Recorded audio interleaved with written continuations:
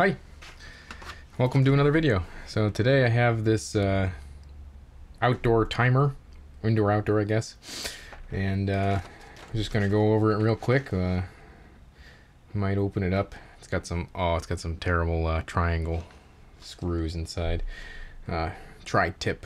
We'll see if we can get it apart still. And uh, yeah, we'll just see how it works and see how much power it uses at idle uh, you can see it's actually got an LCD in there. It's on right now, so that means it's got an internal battery for clock. So even if the power goes out, the battery maintains. So that's good. Yeah, let's open it up.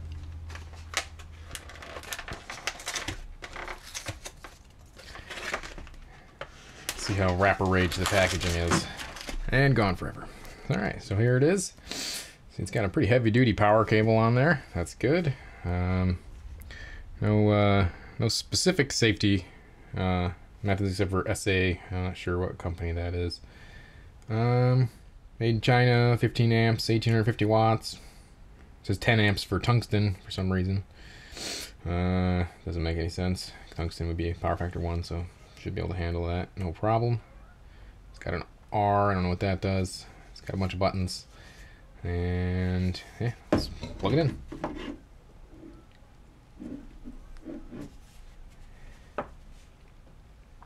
All right, so we can see um, it's got a miserably low power factor, uh, but that's expected for just a control device like this. It is using about 0.73 watts. Uh, so that's not too much of a surprise. We have an on time, an off time. Uh, we can looks like we can set those. Let's see if we can set the the time here. It said the on time was 6 p.m. So I'm going to set this to. Um, looks like it's got acceleration on the time too, so you can set it pretty fast. Let's set this to 5:59.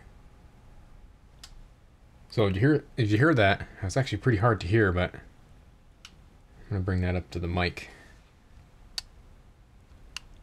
You can hear a relay clicking in there, but you actually don't see the power consumption change at all. So that means this has a uh, that means it should have a latching relay inside of it, and that's that's very good. That means um, this is gonna have very low. You know, it's not using any extra power to turn that relay on, so that 0.7 watts is what it's going to use all the time. That's great. Uh, you can see inside there, it's got those tri. I don't know if you can see that or not. Probably can't see that. I'll have to take them apart and show you after.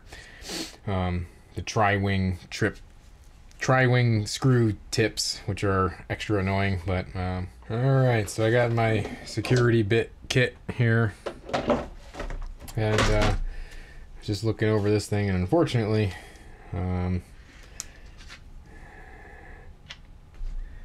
they made the bits smaller than the opening, so I don't think I can get in there. Uh, not easily, at least. I mean, I could drill it, but then I'm worried I'm going to break it, and I, I, actually do want to use this thing. It turns out uh, looks like it's going to meet my requirements, and in terms of functionality, it seems pretty good. Um, looking over the instructions, they don't seem too bad. Nice and short, which is good, because that means uh, you, know, you don't have to spend a whole day trying to read these things.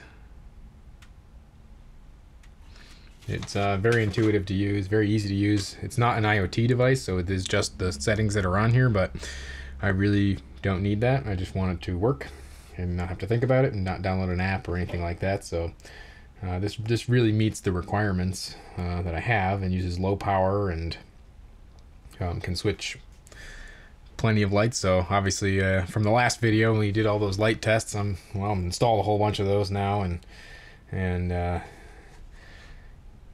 want to turn them on and off. I don't want to think about it. so yeah, uh, this is like a really high quality product. Uh, I definitely recommend um, recommend it for something. We'll see how it does in the long term. If it breaks, I'll definitely do a video about it, and at that point, we will drill out these holes and get inside this thing. Um, just that initial things we looked at, saying that it has a, a latching relay inside is great, and um, you know the two plugs on the bottom. Uh, nice heavy duty cord, so you're not worried about it getting over overheated or anything like that. Um, yeah, overall, it seems like a, a really decent product. Uh, the only thing that's not so great is these special screws that make it so you can't get in there. I'm gonna have to buy some smaller, uh, smaller bits so that I can uh, take more things apart. I also noticed this kit is explicitly lacking uh, triangle screws too, so I'm gonna have to um, get another kit anyway because I have a product that's got some triangle screws in it, so I need uh, a little more something to take apart. Anyway, thanks for watching. Like and subscribe.